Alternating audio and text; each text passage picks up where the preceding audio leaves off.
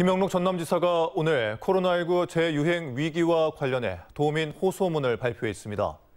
김 지사는 최근 높은 전파력을 가진 BA5 변이 바이러스 확산으로 6차 대유행에 중대한 기로에 서 있다며 도는 감염 확산 요인을 사전에 억제하고 확진자 급증에 선제적으로 대비하고 있다고 밝혔습니다.